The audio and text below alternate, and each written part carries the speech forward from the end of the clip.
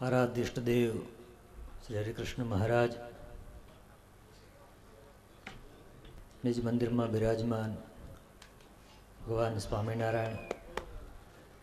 આપણને જેમના માધ્યમે પાંચસો પાંચસો કથાના શ્રવણનો અવસર મળ્યો છે એવા વ્યાસપદા રોડ પૂજ્યપાદ શાસ્ત્રી સ્વામી શ્રી શ્રીજી પ્રકાશદાસજી સ્વામી પૂજ્ય ચંદ્રપ્રસાદ સ્વામી પૂજ્ય રામ સ્વામી પૂજ્ય રઘુવીર સ્વામી વગેરે સૌ વડીલ સદગુરુ સંતો મહોત્સવના યજમાનો અને શ્રોતાજનો સૌને ભાવથી જય શ્રી સ્વામિનારાયણ જય સ્વામિનારાયણ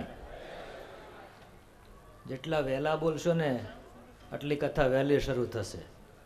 જય સ્વામિનારાયણ। તમને કથા સાંભળવાની કેટલી ઉતાવળ છે એ ખબર પડે. વાલા ભક્તજનો, આજનો એક ખરેખર આનંદનો દિવસ છે? કોઈ માણસ સંકલ્પ કરે કે હું સો વર્ષ જીવીશ? ઈચ્છા બધાને હોય, પણ સો વર્ષ જીવવાનો સંકલ્પ પૂરો થવો એ આપણા હાથની વાત નથી. પરંતુ આજે આનંદ અને ગૌરવ સાથે કહેવાય કે ભગવાનના ગુણ ગાવાનો અવસર દરેકને નથી મળતો, પરંતુ આ સંપ્રદાયમાં એક એવું ગૌરવવંતું વ્યક્તિત્વ કહેવાય કે જેને પાંચસો પાંચસો કથા કરવાનો ભગવાને અવસર આપ્યો. સંસ્કૃતની અંદર એક સુભાષિત છે શતેસુ જાય તે સુર, સો માણસ ભેગા કરો ને તો એક માણસ એવો નીકળે સમજણ પડી કેવો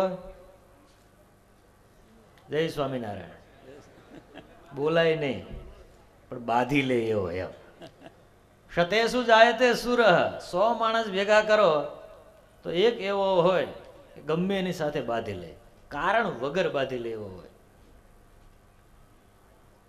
હજાર માણસ ભેગા કરો સહસ્ત્રેશુ ચ પંડિત.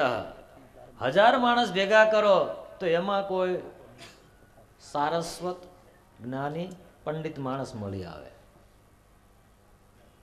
સો હજાર, દસ હજાર માણસ ભેગા કરો પંડિતો. હજાર માણસ ભેગા કરો, એમાં પંડિત મળે અને પછી દસ હજાર પંડિત ભેગા કરો વક્તા દસ સહસ્ત્રીસો દસ હજાર માણસ ભેગા થાય, ત્યારે એક વક્તા મળે.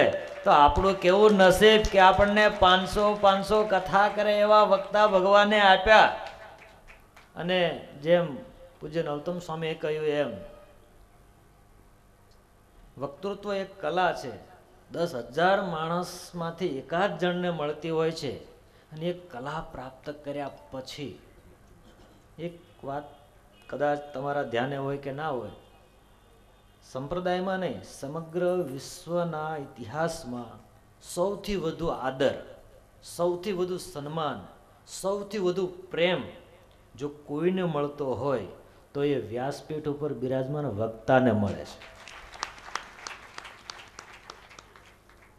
મિનિસ્ટર આવે તોય વંદન કરશે, સમાજ શ્રેષ્ઠી આવશે તોય વંદન કરશે સમાજનો નાનામાં નાનો માણસ આવશે, કદાચ વ્યાસપીઠ નહીં, સ્ટેજ સુધી નહીં પહોંચી શકતો હોય તો દરવાજેથી પણ વંદન વક્તાને કરે છે. આટલું પ્રાપ્ત કર્યા પછી પણ પોતાના ઈષ્ટદેવ, પોતાના ગુરુજનો અને પોતાની જે પરંપરા છે એને પકડી રાખવીને એ બહુ જ મોટી ભગવાનની કૃપા હોય તો જ થાય. નહીતર જે ગ્રંથ ઉપર બેસીને મોટા થયા હોય ને, એ ગ્રંથ નાનો લાગવા મળે. પછી પોતાની વાત મોટી લાગવા મળે. અને રેશનાલિસ્ટો આ સમાજની અંદર એટલા બધા આમ આદર પામે છે કે એમ થાય કે લોકોને વાલો કેમ લાગો? એટલે પછી એમ કે સૂતક પાળવાનું ગ્રહણનું નહીં જન્મનું નહીં મરણનું નહીં, ખાઈ પીને મોજ કરો ને. એ મોજ ક્યાંથી આવી? એને ગ્રંથ નાનો લાગ્યો અને ગ્રંથિ બંધાણી કે હું કંઈક છું. આજે આનંદ સાથે અને ગૌરવ સાથે કહેવાનું મન એટલા માટે થાય છે કે પાંચસો પાંચસો કથા કર્યા પછી પણ આજે સંતો છે ને, એનો સ્નેહ, એની લાગણી, ધર્મકુળની લાગણી મને પ્રાપ્ત થાય એવી ભૂખ જે વ્યક્તિત્વમાં છે, એવું વ્યક્તિત્વ એ શ્રીજી સ્વામીનું છે. આપણે ભગવાન સ્વામિનારાયણના ચરણોમાં પ્રાર્થના કરીશું. પાંચસો કથા થઈ છે ને? પૂજ્ય રઘુવીર સ્વામી બોલ્યા કે હજાર કથા થાય. વક્તા આ રે ને શ્રોતાઓ આ રે ને યજમાનો આના આ રે. અને આપણે કેમ એકસો આઠ ને એક હજાર આઠ ને એમ હોય મારા સ્નેહી શૈલેષભાઈ કહે છે હજાર ને એક હજાર આઠ નો આંકડો કરો એમ આવો.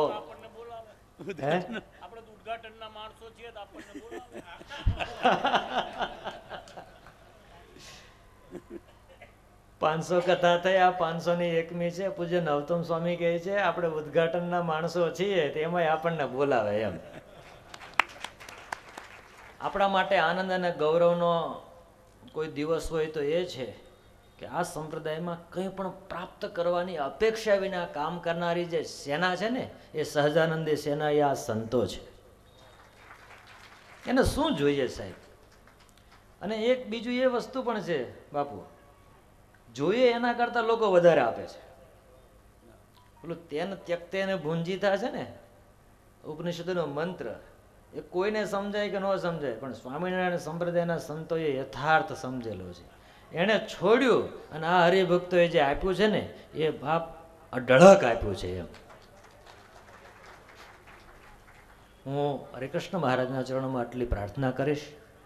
આ પંચદશ કથા પંચશત કથા જે એની પૂર્ણાહુતિ અને પાંચસો ને એકમી કથાનો પ્રારંભ થાય છે. મહારાજ મંદિરમાં બિરાજમાન થયા છે. એના જે ઉત્સવો છે, એનો પણ અહીંયા સમન્વય છે. આપણે ભગવાન સ્વામિનારાયણના ચરણોમાં બધાએ સાથે મળીને એવી પ્રાર્થના કરવી છે કે આ જે વક્તા છે પૂજ્ય શ્રીજી પ્રકાશ સ્વામી, એમનું સ્વાસ્થ્ય મહારાજ એવું રાખજો કે સદૈવ જ્યારે અમારી અમારે આમ આંખ ઉગડે અને કાન અમે ધરીએ ને એટલે સ્વામી કથા કરતા હોય ને અમે સાંભળ્યા કરીએ, એવું એમનું નિરામય સ્વાસ્થ્ય રહે, એવી હરિકૃષ્ણ મહારાજના ચરણમાં પ્રાર્થના કરું છું. અસ્તુ, જય સ્વામિનારાયણ.